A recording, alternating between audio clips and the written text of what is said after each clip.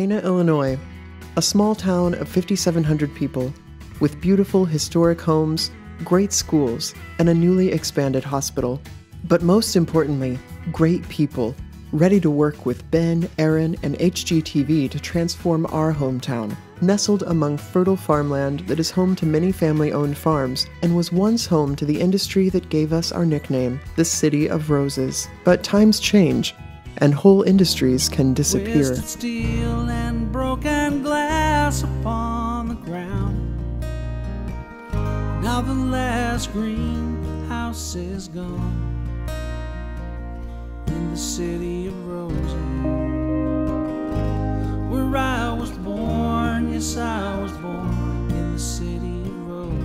Uh, those greenhouses had been gone for over 10 years, and we were still discussing, you know, the impact of, of that uh, uh, 10 years later. Couple that with Walmart coming to town and local businesses closed left and right. A once bustling downtown now sits mostly vacant and in urgent need of repair. Our downtown is, still has a number of abandoned buildings with beautiful 100-year-old architecture, and unfortunately some of them need a lot of major repairs. But in 2018, our Walmart permanently closed, and a downtown resurgence is in the making with several new businesses setting up shop. Brew and Hope, when we started, it was kind of a passion project. I found out that my individuals with special needs that are out of high school don't have anywhere to go. We created a coffee house that is completely staffed by job coaches and individuals with special needs, and the community has supported us 100%. That also brings um, parents to AMP. They realize that there's a way that my kids can learn these social skills and be able to continue to grow and be able to come into the workforce. Here at Taylor Trading, we refurbished old furniture and give it new life. And that's what our hometown needs is new life. And if you would come in, we could refurbish the buildings, the homes, and give it new life just like we give our furniture new life.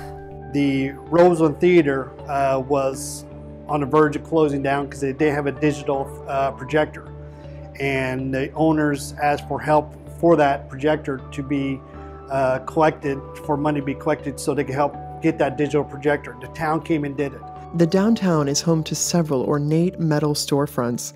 Seeing these restored, and in some cases uncovered, would energize the downtown and build on the momentum our citizens have created. Many of the downtown struggles are mirrored in Pana's historic residential neighborhoods, but several Pana residents are stepping up and restoring historic homes. My favorite part of Pana is definitely the historical value that we have here and um, the potential that we have to make this town great. It's full of character, it's got so many old beautiful buildings that just need some serious help to be restored and maintained after that. Our home was beyond disrepair when we purchased it and many people thought it should be torn down and we saw so much beauty, so much potential in it, just as we see in the rest of the town. As we got more and more work done on the home, we realized what a positive impact this was having on the community at large. People would stop us in the street and thank us for taking on this project, and that's something we never could have expected or anticipated. It means so much to the people of the town to see something positive happening and to see that forward momentum.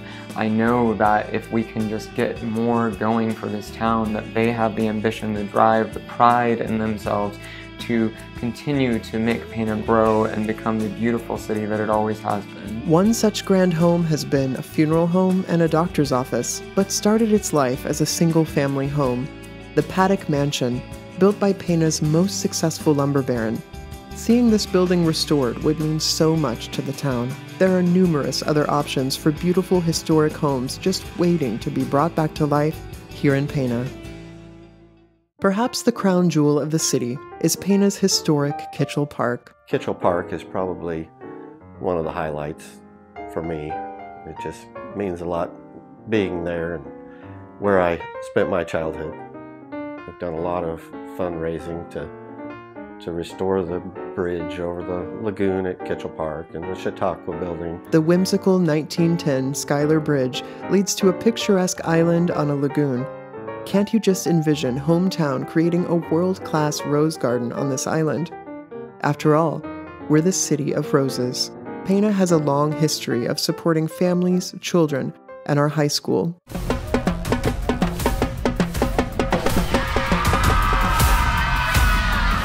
My favorite part of Pana is um, the sense of community and the focus on family. I think that's really important for me as a single mom of three, that resources are put into things for families and kids. The town's historic library even got a shout out from our youngest volunteer. What's your favorite part of Pana? The library. And why do you like the library? Because it has a lot of books and it's quiet. The citizens of Pana have formed a nonprofit called Pana Pride, dedicated to reviving the city. Pana Pride has been working very, very hard to increase beautification within our community, uh, bring industry within our communities, uh, sponsor special events within our community. But I just feel like we need one more push. I think it would build on the momentum that Pana Pride started with doing the Yard of the Month and doing little things around town like painting some of the retaining walls and doing some of the curb work in the area. And I think it would just further build on that momentum and help motivate people to work on their own homes or, you know, inspire them to help others. Pana, Illinois. Our struggles may not be behind us, but we are facing them head on. And with Ben and Erin's help, we know hometown can transform our community. Pana deserves a hometown takeover because we're moving forward. We want to save what we have. Because we're able. Because we're ready to clean up our hometown. Because we are a diverse, growing community. We have the vision to make Pana a better place to call home. Because we're worth saving. Pana Pride. There's nothing else like it. Because I do not want to see one more historical home or building end up in a landfill. Because with your help, the City of Roses can bloom again. Because we need your help. We can't do it by ourselves. We are the future. Because this is our hometown.